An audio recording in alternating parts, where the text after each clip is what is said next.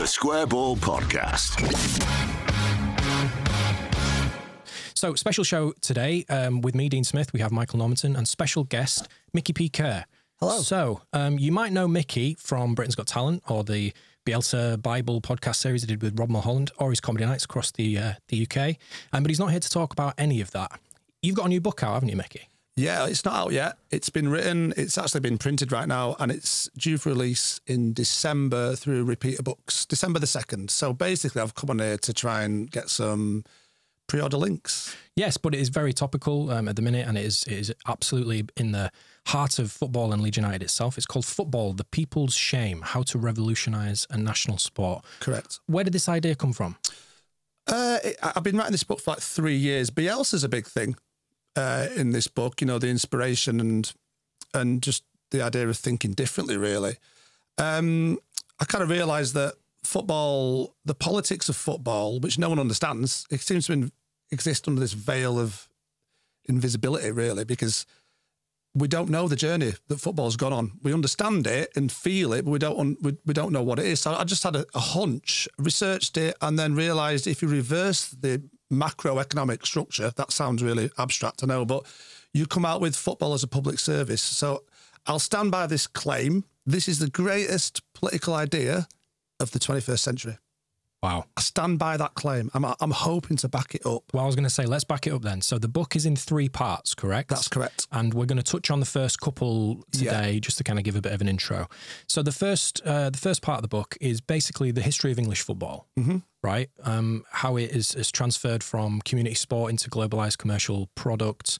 Um, talk us through that then. Talk us through this this first part. Yeah. Well, I'll just I'll, I'll quickly say that. Um, football, as football fans, we think short term, it's very tribal, and we think small. We think our own club's bubble, and we've been doing that. You know, it's naturally what you do as fans, and there's, you know, that's a good thing. But as a result of that, no one's looking at the bigger picture. We, we've taken our eye off the bigger picture, and it's changed significantly. So what I'm going to try and explain here is how you think long term and how you think big, because it's important we do that. Because football, as it was isn't as it is now.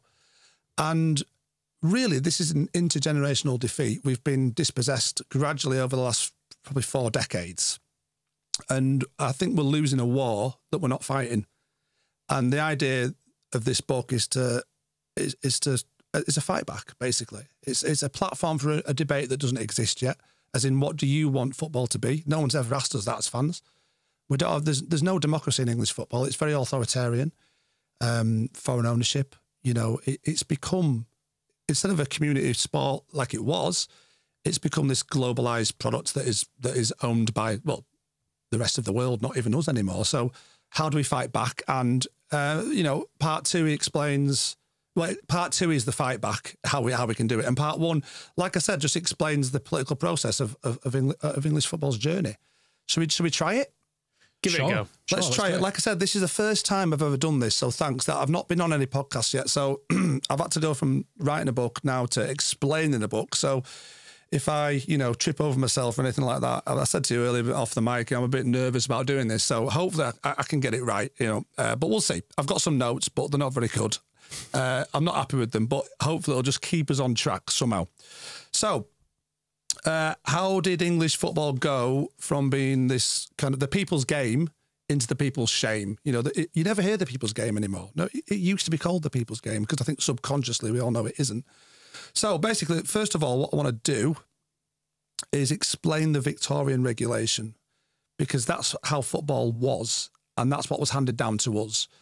And I don't dismiss this as being like naive or not fitting for the modern age because it totally is. It's, it shares a similar ideology to the Americans, actually. So, how they govern and manage sport now. So, basically, it was. It took them a few decades, about 15 years to get it all in place. They let free markets reign for a bit, but then they realised it wasn't working. So, what, what the Victorians did was they saw football as a sport, not a business.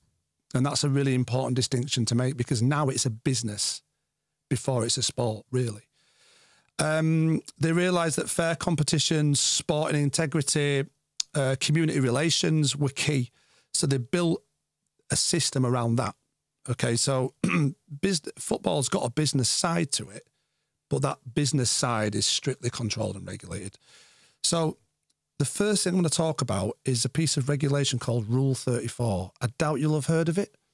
Okay, have you heard of it, Michael? I have, but only because I've looked it up because Ah. of this. Okay, David Conn is the man for this. Great football journalist. He's done a lot of work on Rule 34.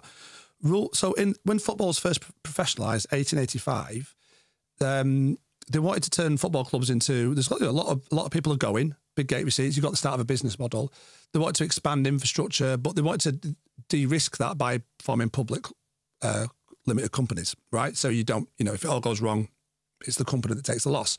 So okay, they said, yeah, fine, but you've got to. They, they implemented Rule 34 as well, so they weren't just standard operating businesses. Rule 34 meant you can't take profits out of football clubs. Shareholders cannot take profits out.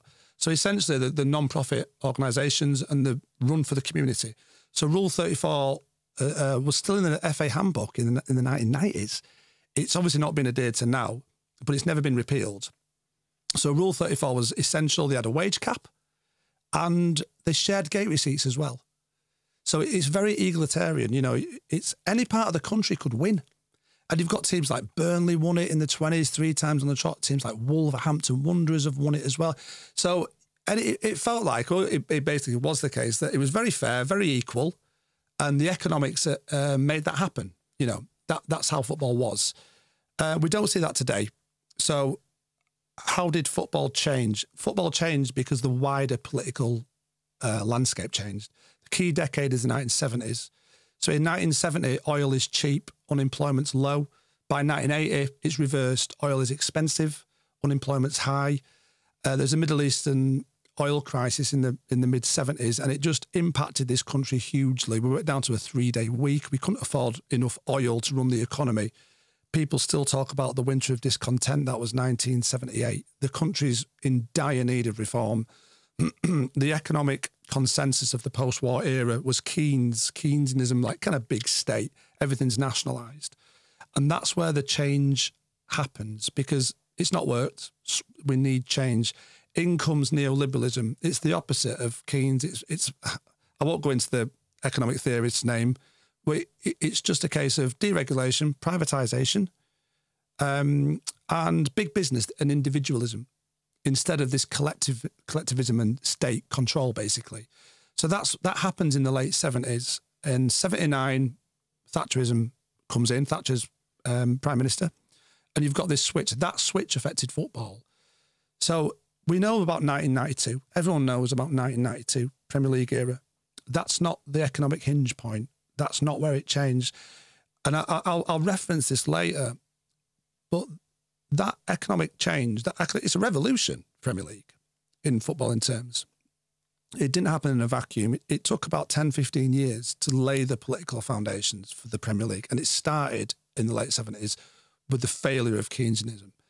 So the key year in football, English football, is 1983. That's the most important year. Nine years before the Premier League. What's so special about 1983? First of all, it's the first time that you've got regular broadcasting. So you've got the duopoly, BBC and ITV. They're now pumping money in. You've got regular football being aired weekly. Okay. So what you've got is money coming into the industry.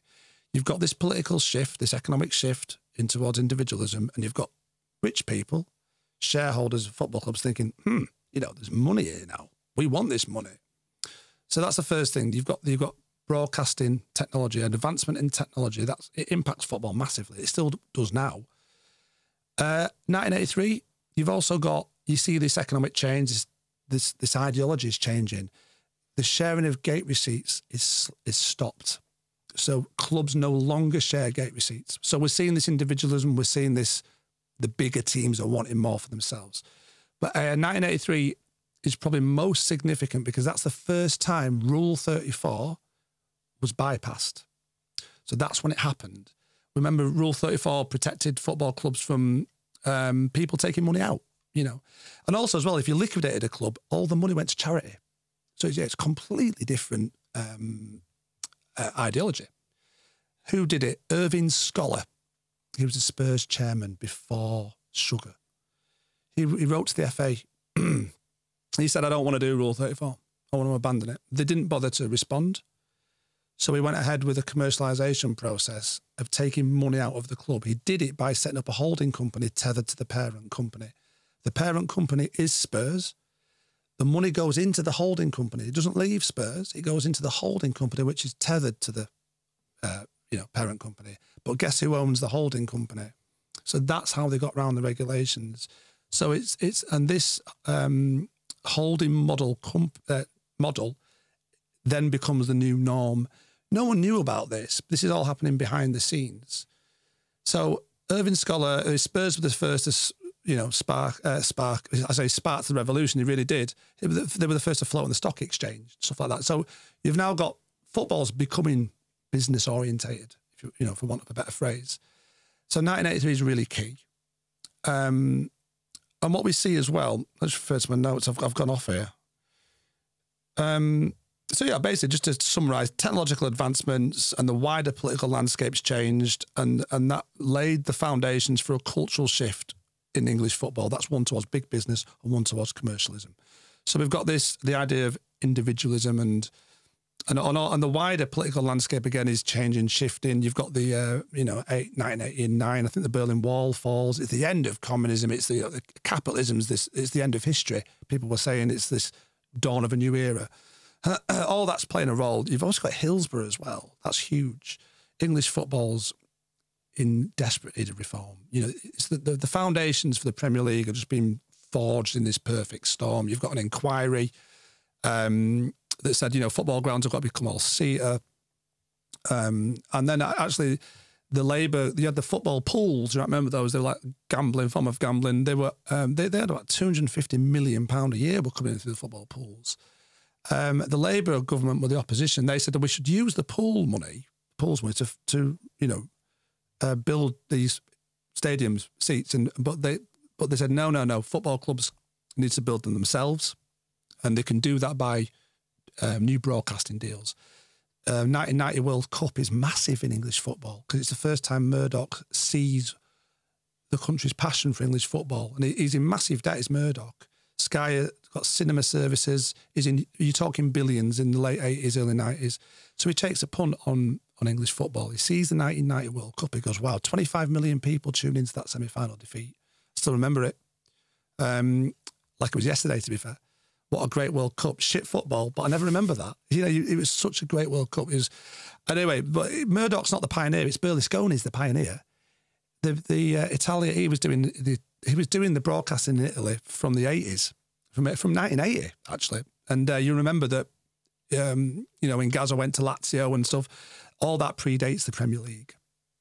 So, um, uh, as well, just to throw in a bit more politics, um, Kinnock was going to become, he was a hot favourite for the um, Prime Minister position in 1992, but he lost he was threatening to take Murdoch to the Monopoly Commission because this new idea of Sky TV is a monopoly. You're not allowed to do that. 1965 is the Act of Parliament. You know, you're not allowed to get monopolies. but John Major said, "No, don't worry about it. You know, we'll sort you out." So Murdoch went heavily in favour of the Tories, and they won that surprise election. You know, with all his, his newspapers and. Uh, but then he, he, totally fucked the Tories over in '97 and went to Blair. So you know, that's that's Murdoch for you. But anyway, that, that's how it's set up. And then I want to take very, you know, very basic details. I want to talk about monopolization now because this the gap between the best and the rest is just accelerating faster than ever. This has been 40 years in the making. But since 1992, let's talk about it because no one's looking at this bigger picture. We can all feel it. But this is what the bigger picture says. So in, it was just over 60 million pounds in 92, 93 went to the Premier League teams. None of it went to the rest of the pyramid, all up to the top all of it. It was the big six was a bit different back then. It was Liverpool, Everton, uh, Spurs, Arsenal, and Man United. So Everton, they, they were they they were really a big part of the Premier League. They wanted they, these, these broadcasting deals. They wanted all the money, uh, and that happened. Uh, Thirty years later, in 22, 2022, sorry, that figure's gone from 60 million to three over three billion. So that's a five thousand percent increase in 30 years and all the money's going straight up to the top. in 1993 and in 1994, newly promoted teams to the Premier League finished in third place. You just couldn't think of that happening now. So the gap, it's like I said, the gap between the best and the rest has, has widened. Last time any team newly promoted finished in the top five was was Ipswich Town. That was 2001. I mean, that's not going to happen this year. You can guarantee it. So the the monopolisation process, you, I think it reveals itself best in the number of points won by Premier League winners. So I did some. No one's done this research. I had to do it myself. Let's split the Premier League into three decades. We're in the fourth decade now. The first 10 years, the second 10 years, and the third 10 years, you could win the title on 81 points in the first 10 years. That's the average. In the second 10 years, it goes to 87. And in the third 10 years, it goes to 91. Um, Leicester City are the glitch. Don't know why it happened. 2015, 2016, they finished the season on 81 points and they won it quite comfortably as well. So for whatever reason, the, the, the process failed. Don't know why it faltered. But in the seven seasons after that, the average points tally is 94. So you can see it's just going up and up and up. It should be 95, but the season before last, City had won the title with two games left and they played Kalvin. they dropped five points. So, you know, I love Kalvin, by the way. I mean, it, it, you know, we, we can talk about Kalvin a bit later and Leeds United youth players and what's happening to them. It's all part of the bigger picture. Basically, all the best players in the world, all the best coaches in the world have been sucked into about 10 or 12 teams. And we can feel that, we can see that. And it's happening faster and faster and faster. Just for context, remember the Kevin Keegan rant, 96, 97? Mm-hmm. They were in the, it was a four horse title race that. Um, Newcastle finished on 68 points. Man United pulled up the way. They won the title on 75 points. Just incredible. You wouldn't even get third place with that now. Mm-hmm. Uh, the the year after that, Wenger won it for the first time on 78.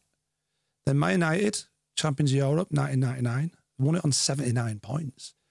You, you, I mean, Man City got 100. Liverpool didn't even win it on 97. So you can just see it. The, the, the gap, I keep saying this phrase, but the gap between the best and the rest is widening all the time. You can see it in the FA Cup since my first footballing memory is 88. The Crazy Gang beat Liverpool 1 0 in the final. In the 36 seasons since then, the top, the big six, we know they are, they've won it on 90% of the occasions. Same in the EFL Cup since 2004, Middle, Middlesbrough's victory. It's 90% again. It's 18 out of 20 is the big six. And the same for the European Cup in the 80s before the Champions League. Steaua Bucharest won it, Romanian club, you know. Forest won it. Hamburg SV, I think they're called, quite an obscure German team, won it. In 1990, Bel- uh, Red Star Belgrade won it.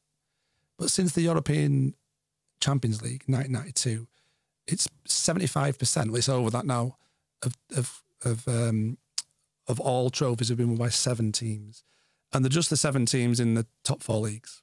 So the idea that an obscure team or you know an underdog can win is, is out the window now. And like I said, it, this is accelerating. It's becoming more and more extreme. So we we we've just completely, as fans, you know, on this is the process. This is what's happening. We're completely powerless. We're just serfs, and there is no democracy at all in English football. Um, and I think there's sometimes the the illusion of soft power, but there's no hard power, and I, we can see it in Leeds actually. Remember when the club changed tact on on the torso badge Leeds mm. salute thing? The power of the collective was victorious. We won out on that. But there were no financial incentives. So then um, three i think three years later in 2021 i'm trying to get a uh, this this book started out as a presentation it's changed radically since then in three years but i was trying to get a date with the LUSC Trust Foundation and they, they weren't, you know, they were being a bit like, oh yeah, to do a presentation to them. And then Chiles, I think that cryptocurrency came in. We all went mental. Everyone's complaining about it, rightly so. It's you know, it's gambling, unregulated. Um, and the, did the club relent and apologise? No, I think actually I remember um, Angus coming here, doubling down. So when there's profit involved, the, the moral compass is dropped, and the total authority of the dictator is exercised because that's what this is. It's a dictatorship. So, like, if, if we think about I mean, this, this is fascinating, mate. If we think about this as a, in, in the kind of the briefest terms, is it that we as football fans have taken our collective eyes off the ball? Absolutely. Our eyes off the prize. We're, we're so concerned with what's going on Yeah. over there at Elland Road, down the way at Thorpe Park. Same with any Tranmere Rovers are just worried about Tranmere Rovers that we can't, we haven't seen the storm that's been gathering around us and taking us off in a completely different direction. I think what's happening is that this commercialisation agenda of English football has affected English footballing culture.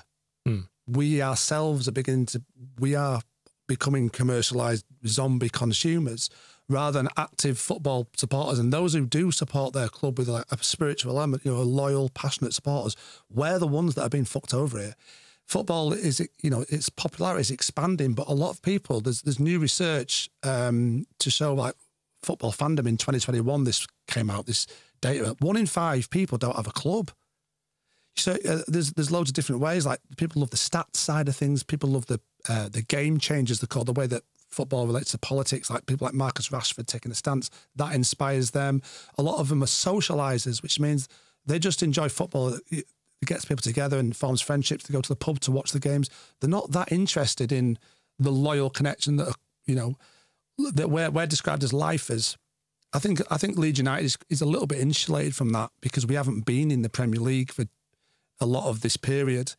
So you, you can see it though in, in the stadiums that the it's consumers, it's not supporters. But, and as well, like it, we, we've been talking on the show recently about this idea of business. Yeah. and selling Archie Gray, selling Georginio, that is such a bitter pill to swallow. And the only way that you can swallow it is going, well, it's business. Like we have to do this to survive. Mm-hmm. And I guess with what you're proposing and, and the idea of what football used to feel like before these changes happened was that we wouldn't swallow that. We would be able to stand up or we'd be able to see the wood for the trees a bit better and say, oh, well, hold on a minute. These are our players. This, this is, this is Archie fucking Gray. He's the Gray dynasty. It's our heritage has been washed down the toilet. Yeah. And it feels like Harry's going to go the same way, who's supposedly even better than Archie. If he's any good, he'll be gone at 18. Hmm. You know, it's almost like with Archie, I was, I was praying that he'd be a little bit shit so we could keep him. Yeah. The You're lucky, problem- you're lucky if you get a play to 18 these days, aren't you? Because Yeah. the, the, I mean, the changes they made around Look at, academy, look at academies. We got him at 16. Yeah, and you get you get people who like Man City um, will come in and get your best 13, 14, 15 year olds. They don't wait until they're 18. They don't wait until they've played had a sniff of the first team because they know at that age they can pay like Finley Gorman. They can pay a million or two and a million or two to them, absolutely nothing. And then he goes into their youth system along with another 30 players who they've poached from West Brom, from Sunderland, from all over the country. And Yeah. it just it focuses all talent in one place. But once they become once they're at Man City, you're lucky if one or two of those pop through every couple of years. Well, you look at the business model, it's similar to what they used to in music. If you sign 50 kids, right, for a combined cost of 70 million, if one of them turns out to be the player you want him to be, you've made your money back. Mm. So it, it's a good business strategy to do that. The, the problem we've got is that the is is football's intellectual foundations are completely wrong, and that's what we need to change. This is systemic. And by the way, you know Brighton are taking our players, but if if Georginio, I mean, I absolutely love Georginio. By the way, I'm, I'm really sad to see him go. Him and Archie's just a real blow. It, it it really upsets me. Um, uh, more more so Archie for obvious reasons if he turns out to be brilliant and that player that we you know you see glimpses of this so arrogant so good on the so strong the way he can turn players. If he can do that in the Premier League Brighton won't keep him. They can't. Hmm. There's a hierarchy here. And if he goes to Spurs that's the bottom of the top six. You know if someone does really well like Gareth Bale you ain't keeping him. There's it's all getting sucked up. And that's what you've got to remember. There's there's no loyalty in terms of anything else but money and money is the new god. Money and success in terms of there's only a few teams that can win. So if you want to be any good, you've got to play for them. Yeah, what you were saying then through that that first um, part of your, of your book, it just feels like that fairness is being stripped out, and uh, and fans are being ignored by by this fairness being being stripped out, and it also sounds like this this process where um, things changed and uh, the you were able to to find a way to get shareholders to pocket some cash. It just sounds like Ken Bates' wet dream, man. It sounds like this is where he Exactly. came alive and thought, "This is I, I can work in football now." But it's a slow process. It's, hmm. hap- it's happened over decades, and now it's all in place. So it's really accelerating. The European Super League is here in everything but name. It is hmm. happening. The economics are telling. When you look at the journey, it has to happen, and eventually English clubs will have to join. And who owns the English clubs? Well, four of the big six are owned by American businessmen, and they are chomping at the bit, contrary to what they might suggest, to get this over the line. We have no say, absolutely no say in the governance of English football. Powerless serfs, you have no say. Your voice does not matter. Going on pub, going on social media and and saying your opinion i- i- is worthless. Even if all of us decided this is what we want, it's not. It's a dictatorship. The FA, the Premier League, they tell us what how it is. So, so let, let's move on to part two. How do we fix football? Yeah, this is it. So, first of all, I'm going to just, it's really obvious to say this, but I have to talk the different intellectual foundations. The, the, so, at the minute, football is, is based on authoritarianism, over commercialisation, individualism, and monopolisation. That's what we've seen. So, instead, we're going to shift towards democracy, community relations, sporting integrity, and collectivism. Now, collectivism can spark fears in people's minds because you think of communism. Well, I'm going to debunk that straight away and deal with it here right now. A lot of the ideas that I've got, I've imported from America. The US see sport like the Victorians did sport first, business second. So if you're going to accuse me of being a communist, you need to accuse the Americans of being a communist, which is a complete non starter. This is the sporting realm, okay? It's not the wider economy. I, I, th- this is why I think this idea is so good. I've, I, I've labelled it quantum politics because it's left wing and right wing and centrist all at the same time. What we're going to do is ring fence the football sector, keep it separate from the rest of the economy. We're going to reverse engineer neoliberalism, and then we're going to take the wider manufacturing related to football. We're going to collectively own that as well. And we're going to fund football as a collectively owned public service. So, this is systemic change. You've got to think systemic change. Sys- the, the problems are systemic. So, like the Crouch report came out, it's a diversion. It doesn't doubt the validity of privatization and free market economics within the sporting realm. Even the Americans don't do that. Why are we doing it? It's ridiculous. It's not working. There's also a way of protecting English football as a global brand and uh, actually enhancing it because we need that if we're going to run this as a successful public service. But first problem, right? We've got private owners. Our football clubs are owned by private individuals. So there is a way. This is the way you do it state intervention. You do it through acts of parliament. So the European Court of Human Rights is an international treaty. It's been part of UK law since 1998. And that protects migrants, gives them human rights, but it also protects the rich. Not many people think about that. You can't just take someone's property, but you can. You can take someone's property. There are two. This is what this is what the European Court of Human Rights says in the cases of nationalisation, which is what I'm suggesting. You've got to do it legally, acts of parliament, and you've got to do it in the public interest. It's got to be in the public interest. And the, the law actually states, it's all in the book, this. I'm not going to go into it too detail, but you give this is a legal term, you're given a wide margin of appreciation for, for deciding what is in the public interest. It's weighted towards the state. There's another stipulation as well. You've got to give these dispossessed claimants market value for their property. You've got to pay them. I'm going to give you an example. HS2, okay, is a, is a railway line from London to Birmingham. Uh, it was supposed to go to the north, but obviously it doesn't. Uh, it's been the contracting has been absolutely terrible. It's it's coming in at seventy billion at the minute, okay, which is and it, it's constantly rising this figure. But I want to have seventy billion pound. People have been in the way of that railway line. Their houses are directly in the way. What the state does is it takes the house off them. Says it's in the public interest. Here's loads of money for your house. You know, probably and and, and you're forced to move. There was a shipping company in the UK before the great switch from Keynesian to Milton Friedman in the in 1974, a really profitable shipping company. It was it was nationalised. The people who owned it didn't want. They were making good money, but it was it was taken off them by 78. It took four years through the courts. It was nationalised. These things do happen. The state nationalises stuff. Usually, when a, a business is bankrupt, it's like we nationalise the banks, but you can do it when a business is profitable. So You do it through state intervention. You've got to pay them for it.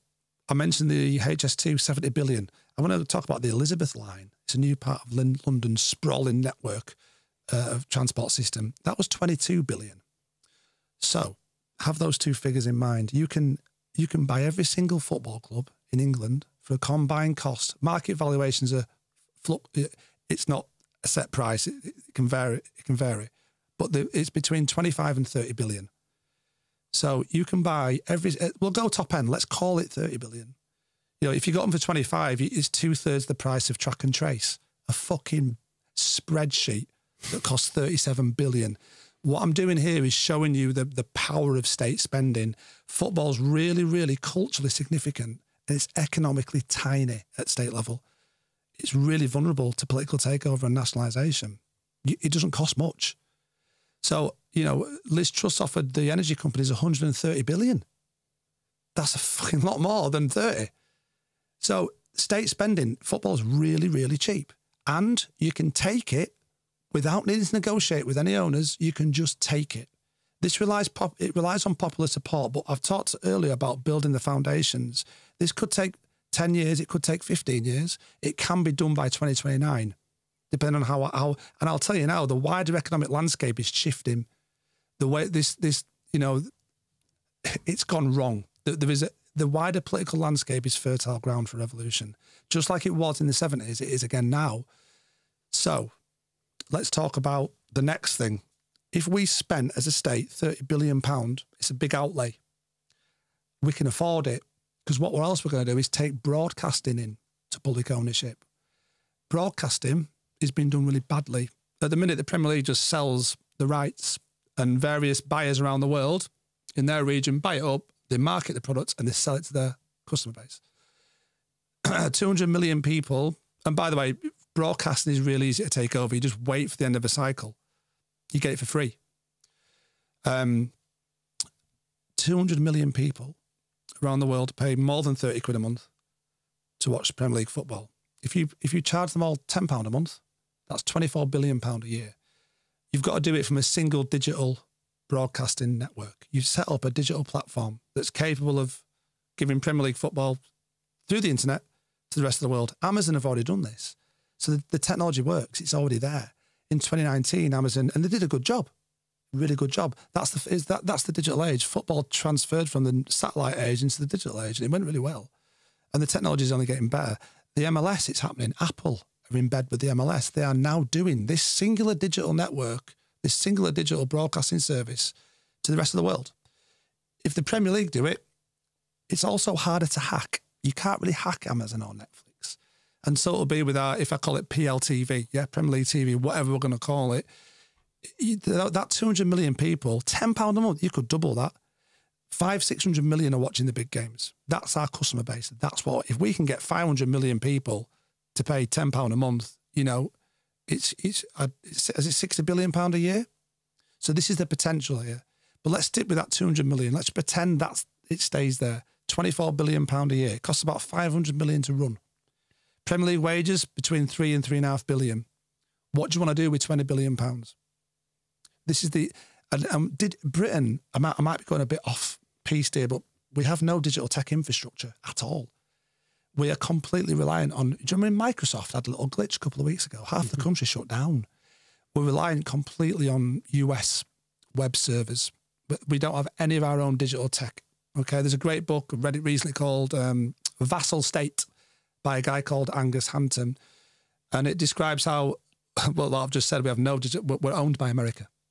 We're owned complete. Everything's American owned. Even HP Sauce is American owned. It's all behind the scenes.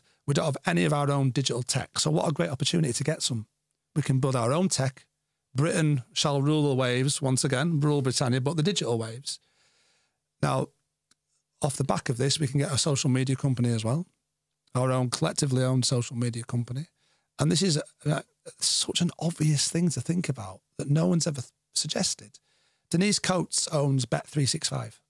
She's worth over 8 billion and she shares um, that company with the two brothers. So they're, you know, it's equal weight and you've got tens of billions of pounds in 20 years. Why don't we just set up a public gambling company? And we've got the digital tech infrastructure there again. Bang, you just a website. It's dead easy.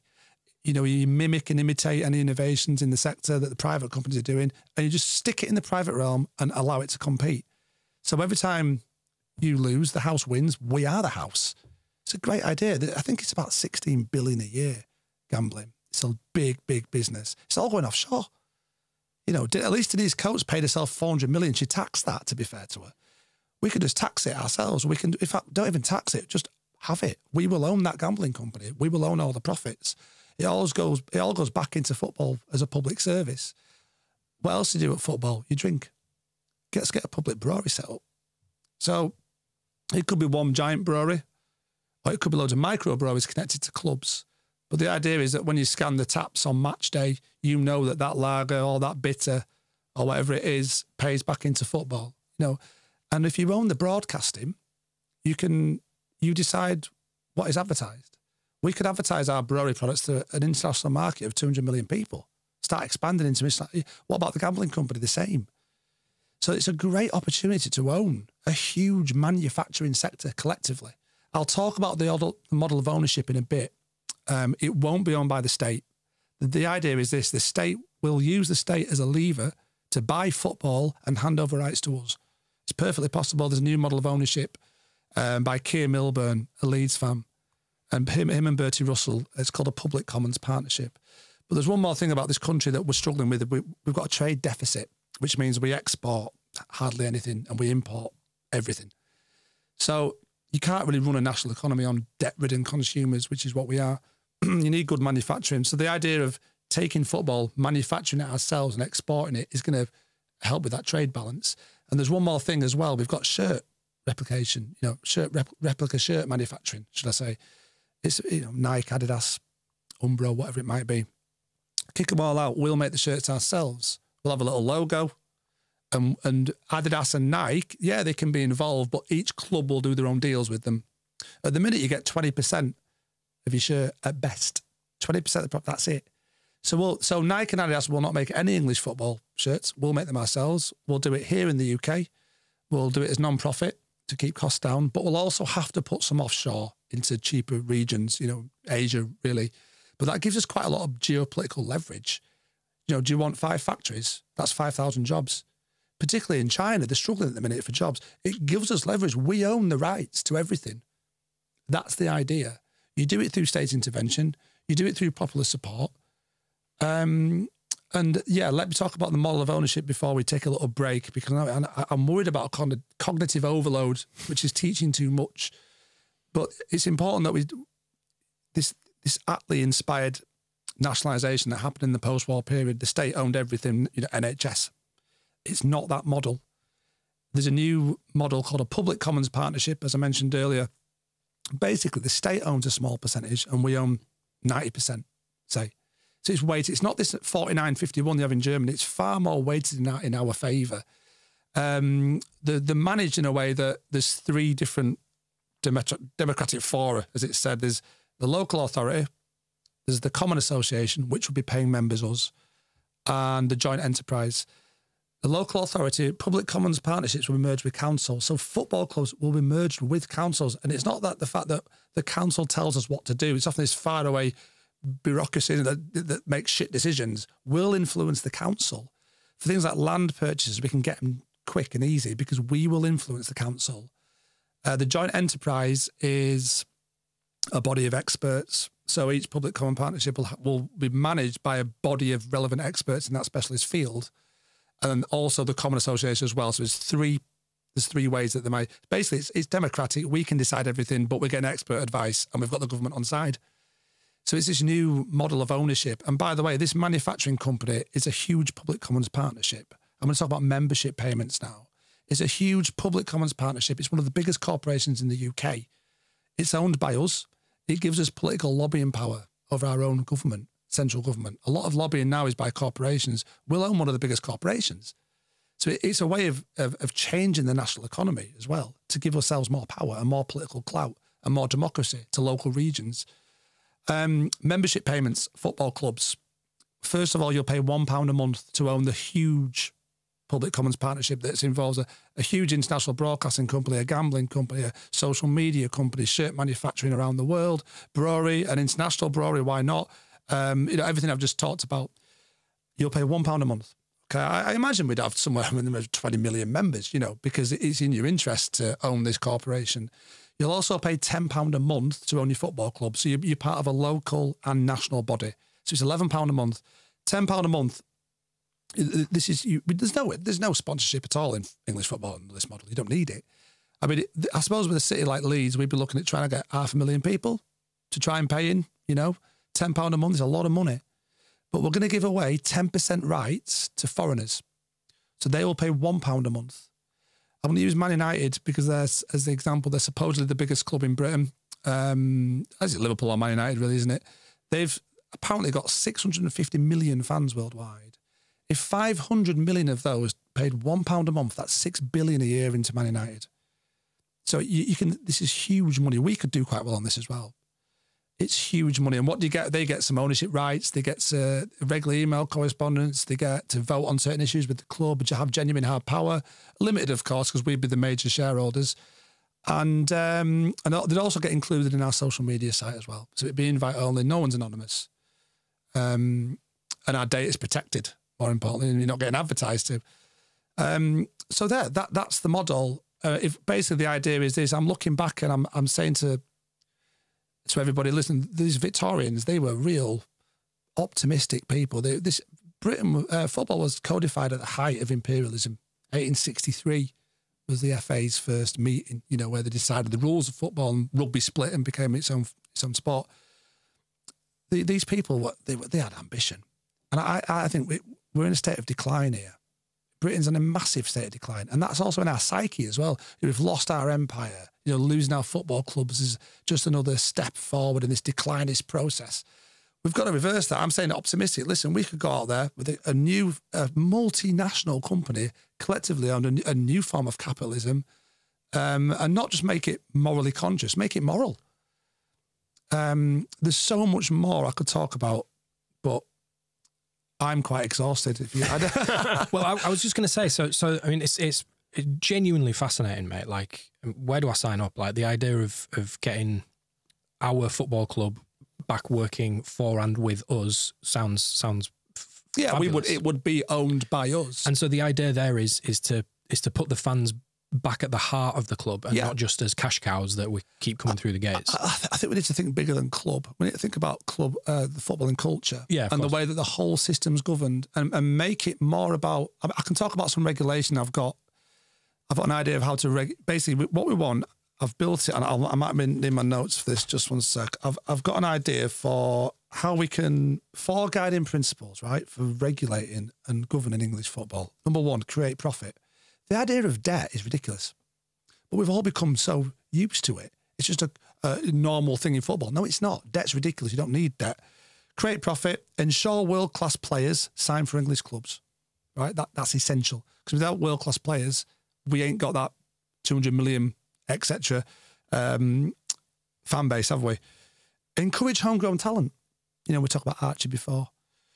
And promote fair competition and sporting integrity. I think uh, if you do those four guiding principles profit, fairness, um, world class players, and local players.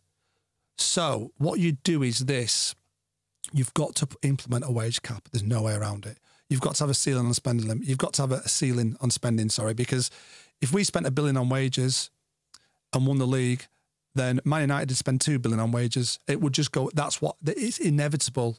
Hyper wage inflation is inevitable in free market economics. You've got to you've got to control it. The Victorians controlled it. The Americans control it. But how do you stop that happening in Europe's? Let's say if we if we win the league and mm. our wage cap is a billion, and Real Madrid go, well, we want all the best players in the world, so our wage cap is two billion. How does that? How do you stop that happening? I'll show you how you do it. First of all, you keep the wage bill really high. So at the minute it's about three and a half billion. I've raised it to five point five. So every club gets two hundred million, and seventy five million for spending transfer kit. They can also spend, and this is key. This is from America again. Three players outside the wage cap. It's called the designated player rule. It's what they used to sign David Beckham, Galaxy at LA Galaxy in 2007. So you've got a wage cap, it's incredibly high. you limit squads. Um, in, a, in the MLS, it's 30. So I've said 30 and then three outside that wage cap. We're paying the highest wages by miles anyway. We're way ahead of everyone. So I've upped it. I think the average wage of the Premier League player is about three million. I've upped it to six. I've pretty much doubled it. And then you can sign three players outside. You look at those commercial. Each club has got its. Uh, there's a central source, just like in the MLS, that supplies everyone with the money. But you've also got each club's got its own independent commercial operations as well.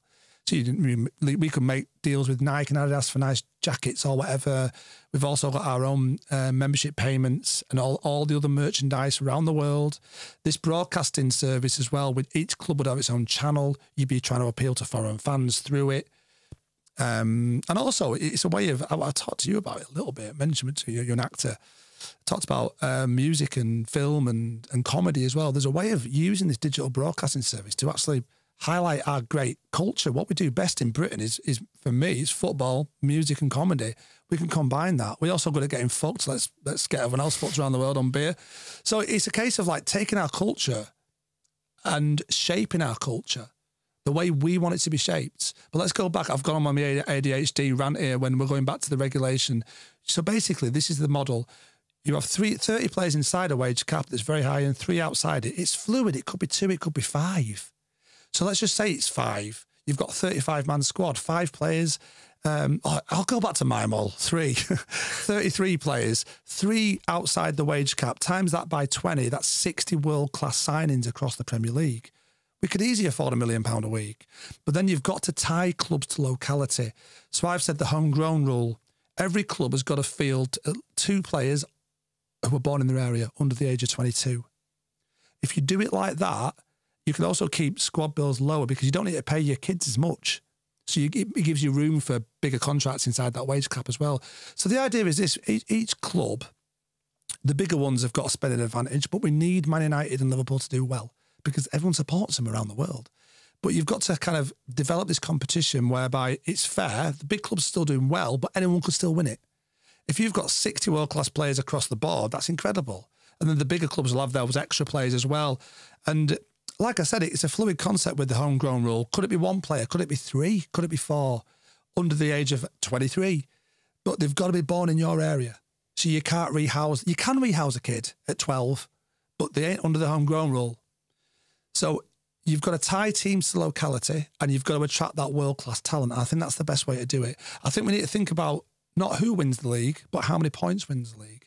If you can get a Premier League competition where 70 wins it, and 45 seeds you relegated. That's special. Mm. And it's full of world class players and it's full of um, English kids, English young players. It's a mix of uh, elite talent and homegrown lads. And there's a few of those 30, 40, 50 million players in there as well. If you can get that and we can get our stadiums bouncing with the people that should be, and we all know people that can't get in, it's not a working class sport anymore. We've got to reverse that. It's, it's a way of thinking differently about the philosophical foundations of what English football should be because no one's looking. We'll go back to what I said at the start. No one's looking at it. Who and I, I could just say to the, every everybody listening today, what do you want? That's what I've decided. What do I want? I've written a book about it. I've spoke to various political experts. The publishing company's been a big thing. This is full of expert opinion. Kieran Maguire, Price of Football, the, probably the leading financial expert. He's worked on me with for two years. Nick Harris, he's hot on the tail of City. He's a great journalist. He helped me with the broadcasting model. So I've had a lot. This is this is not just some guy that's writing a shitty book. I've spent three years, day and night. You know, people say to me, "Where have you? You're not writing any songs." I've been day and night on this. I've been working in the shadows. It's taken everything out of me. Um, but I, I, can't believe how good the idea is. It keeps getting better better and better and better. And it, the, the theory is it's tangible, it's there. It sounds it. It sounds. But then here's here's my question, and this is probably something that I'm, I'm sure you're hoping will develop over time. But how likely is this to ever happen? How much desire is there for this in the wider football world? I, I had a thought a few years ago that popped into my head where football and its money is so ludicrous. We could just all, everyone could just decide just to knock two zeros off of everything at the end of wages, um, uh, transfer fees, and everything would be brought back into line a little bit. It's never going to happen because that would require everybody to come together for it. So, i i- in your in your mind and in in like a forecast forecast kind of prediction for yourself, how likely, how much desire is there for this? I think the desire, the desire is definitely there. I think I the- feel like there's I- public desire for it. Probably. yeah, the It's- likeliness is, is a different question. I was Yeah. going to say it's how it's how you you essentially need people in government to sign up for something like this, though, don't you? There's already people in government that I'm talking to. I so- don't get I don't get the impression from Starmer's Labour though that it's No, it's no. a it's a it's not particularly left. It's further left than we have been in the, for the last fifteen years, but it's not it's not by any stretch a left wing government. He's a neoliberal. So basically, people don't know what neoliberalism is. It's it it, it certainly doesn't support right wing values and it doesn't support left wing values. You ask a right winger if they're winning, they'll say no. You ask a left winger if they're winning, they'll say no. So who is winning? No one's winning. We've got a reverse engineer neoliberalism, and we, and the football sector is very vulnerable. We can just ring fence it, and we can just change it in terms of how likely it is like I said, it this could take ten years or fifteen years, or it could take four. But football is a is a petri dish because it's a very interconnected network of I don't know 10, 15 million people who all who all communicate really regularly. My plan is this: this is the first time I've done it, you know, and, and it should be done in Leeds because I'm Leeds, and this book is it's, it's very Leeds book. Despite the we're talking about a wider cultural phenomenon that is English football, it's a it, it's a very Leeds book. I'm going to go to every single club. I've I've made it my mission. The likeliness is it's a self fulfilling prophecy. If you think nothing can be done, and cynicism doesn't change anything, I'm not. I didn't come on here to moan about the state of the game. I came here to give you new ideas. That's exactly what we need. I'm going to go to 100 clubs and go on their equivalent of the square ball. Let's see if I can do it. But this is a social experiment in a time where we desperately need new political ideas, and I'm standing by the idea, the, the, the claim this is the best political idea of the century. If I'm right about that, why can't this happen? I, before the social experiment, you've got to have the theory. The theory is there. It's watertight. Can I ask? Can I ask how it, you see it working further down the pyramid? Because obviously, there's at the moment in football because of partly because of what you've described of the inequality of the structure of it. The money is all at the top. The overseas memberships, all that sort of stuff. You can see how that works for Liverpool, for Man United, for Leeds. If you're Rochdale or Harrogate Town, how do you? Where does your money come from? Essentially, where how does this work as it as it drops down the pyramid and the teams become far more far more local? Yeah, the the structure that I've done goes down to the tenth tier of the pyramid, so it's a complete wage cap on on everything. Mm-hmm. No club spends money on wages; they get given it, and you also get given extra money to spend off the pitch. So it's a way of using footballs. we- We're talking tens of billions of pounds here. It's a way of devolving economic power. It's, it, we're going to follow the rule of subsidiary, which means all economic decisions go to the lowest level possible. So basically, the idea is this: you'll get given, you could be Harrogate Town, yeah. You'll get given X amount for wages. Also, the homegrown rule, the, the wages will be upped. The, the the art of playing football is incredible, and the people who make it as professionals are incredible. You're the best at the best sport in the world, the most popular sport in the world. You've got to you've got to up the wages. Uh, these people, and the, the idea that they go around go on the piss is just it's changed. You know, these are top athletes. So that you've got to have maybe four or five players on the homegrown rule lower down because we'll, be able to afford foreign, you know, decent League One players. Uh, when I say League One, I mean French League One down in the third tier. You know, because that's how much we'll be, we'll be paying more than a lot of Europe's top leagues now fourth tier.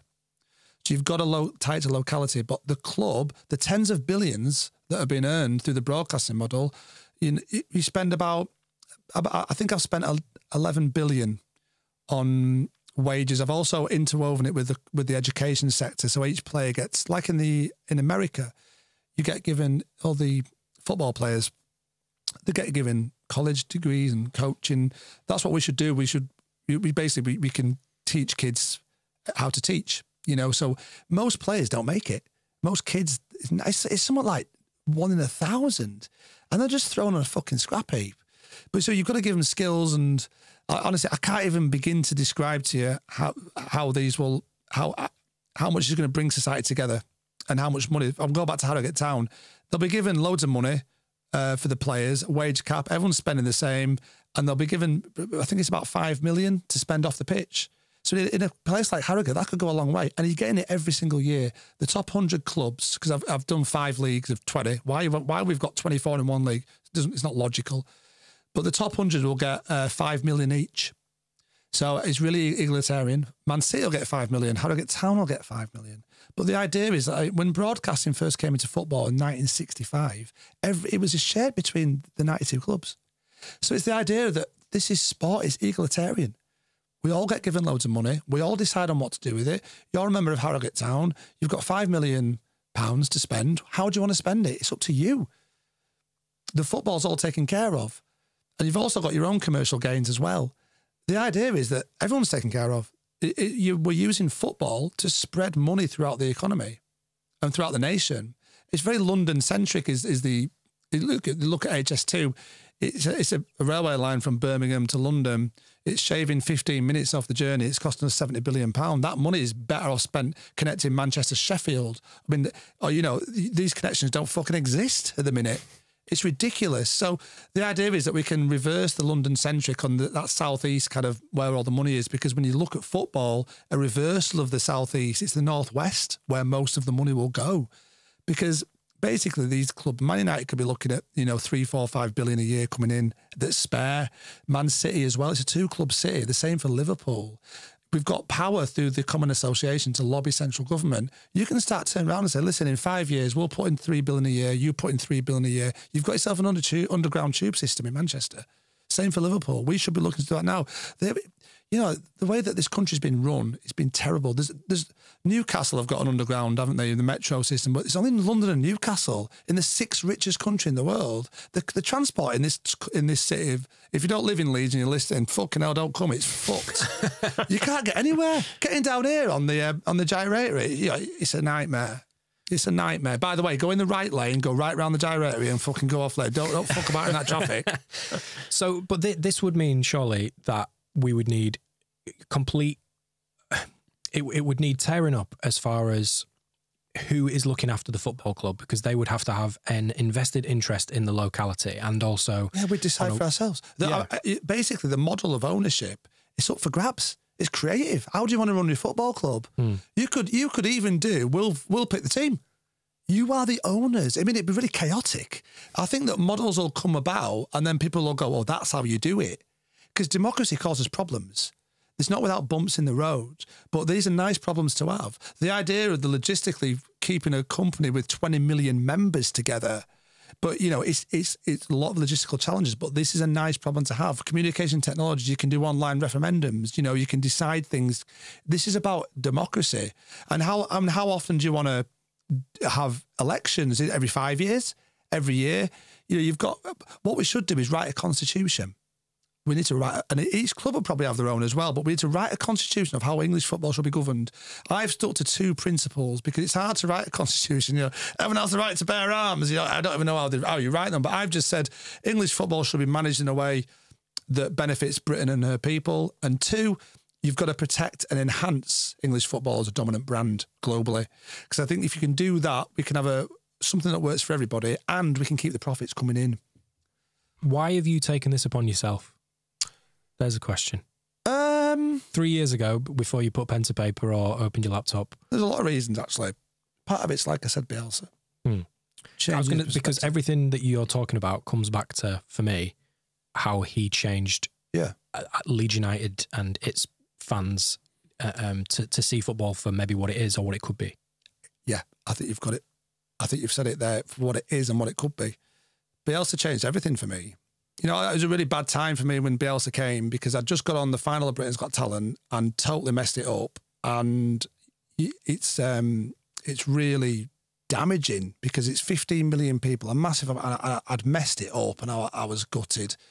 I wasn't sleeping, you know, and I was um, the only person who really knew about it was my partner Rach because she was living with me. And I, I was absolutely gutted. And then Bielsa came and it just changed my life. I, I, I and I, I, did the Bielsa Rhapsody not long after, and that kind of like it it it really saved my mental health because I'd gone from hating myself to being really adored by all the Leeds fan base for writing this song, and I was like, it, it changed my life, and I was just sucked into the.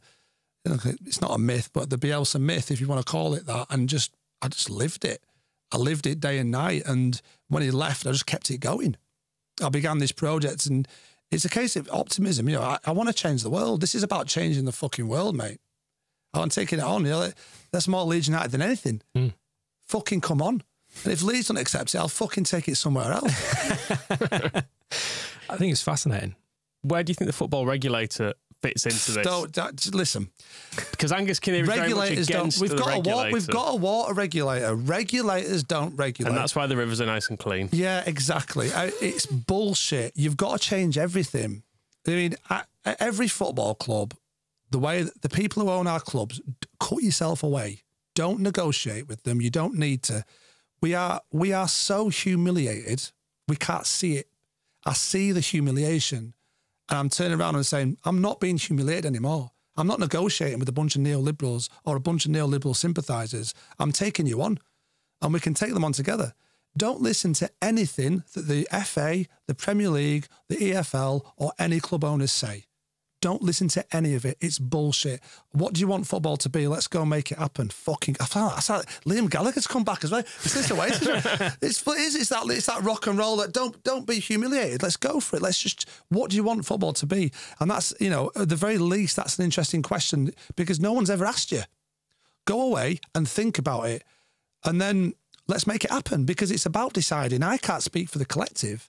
All I can do is turn around and say it's time to fight back. I think there is an extent to which we're collectively blinded by the, at least superficially, the success of English football. Because you can go, Hmm.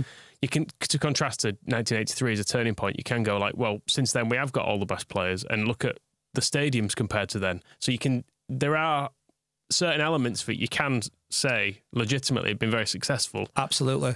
but at the same time, as a Leeds fan, you go, well, we want to get up, and there's fuck all chance of us ever winning No, the Premier no, League. that- that- yeah, yeah. That, that's all gone now. Leeds United as it was is dead. English football as it was is dead. But like you said, there are facets of globalization that are really beneficial, and one of them is 200 million people paying for our products. So if it ain't broke, you know, if it don't, uh, what if it ain't broke, don't fix it. That's the one. Listen, what what the Premier League have done commercially, build on it. Don't uh, you, you're not bound by it.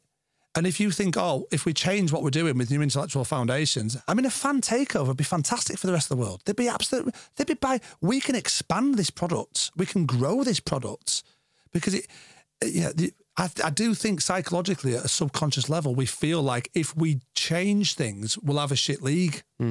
It's not the case. We can, the, uh, our football is fast paced. Uh, and it's a lot to do with climate. It's exciting. We've got globally revered clubs. As long as we've got world class players, and you know what, the, the the products that that foreigners are seeing, it's not us. It's not us. You know, you go to a stadium, you can see it. You look online on social media. It's it's like a ghost town in there now with the big clubs. Hmm. We, we are we we are changing. We are changing. We're becoming soft. We're becoming commercialized, consumer zombies. We're not active football fans.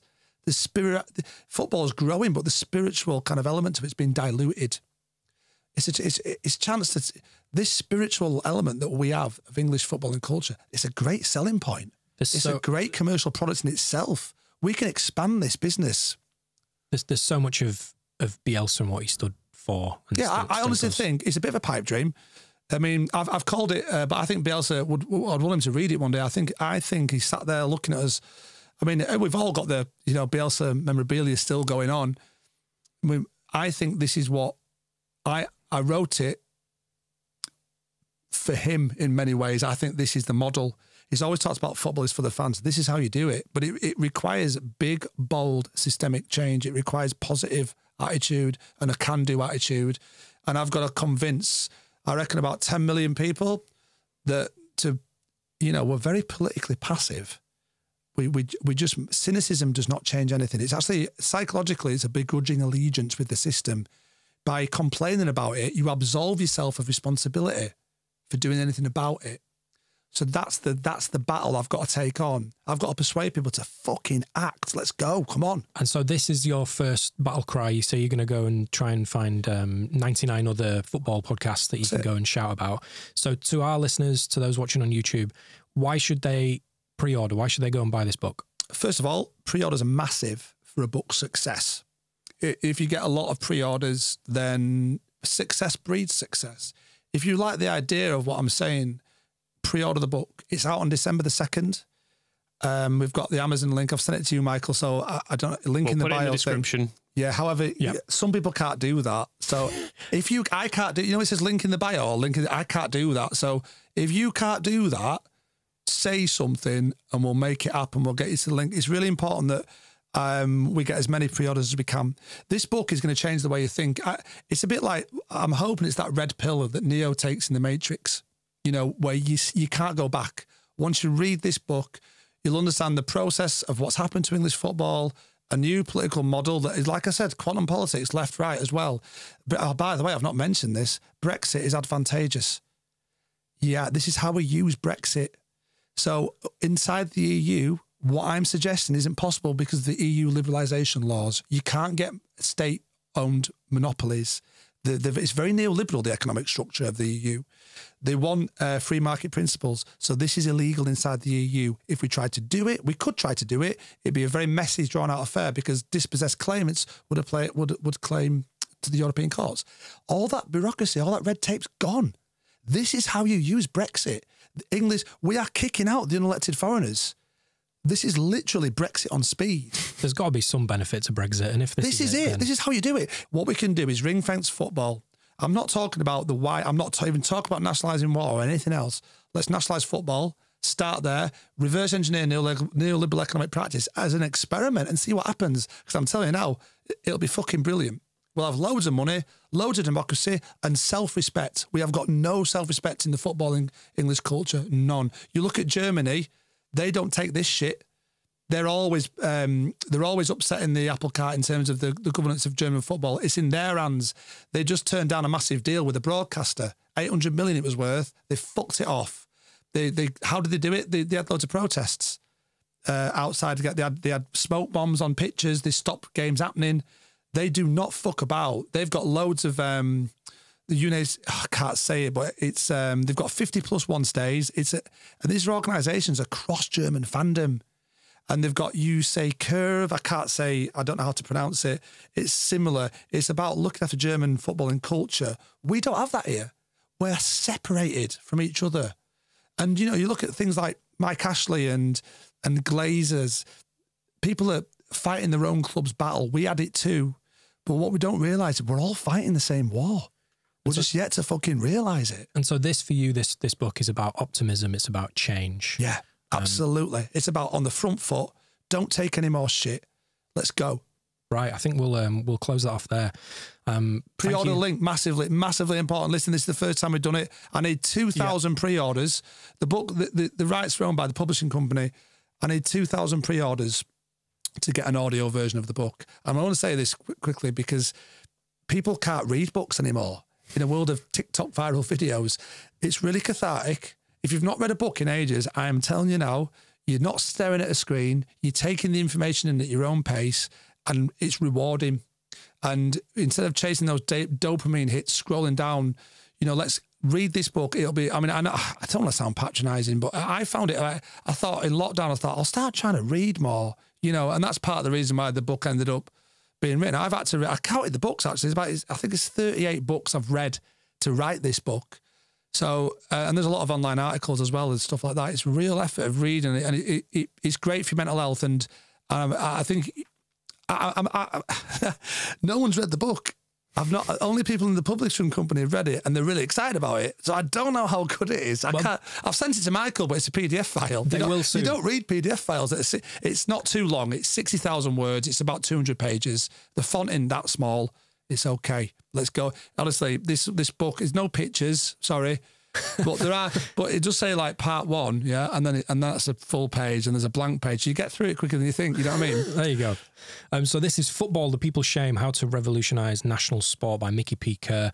Um, just to touch on it again, it's about optimism, it's about change. Um, thank you, uh, Micky, for coming in to talk to us. It's really an honour to be here because I've you know watched this table so many times on on YouTube and stuff. So and thanks for having me. Really appreciate it. No worries. We'll speak to you guys later. Thank you so much. The Square Ball Podcast.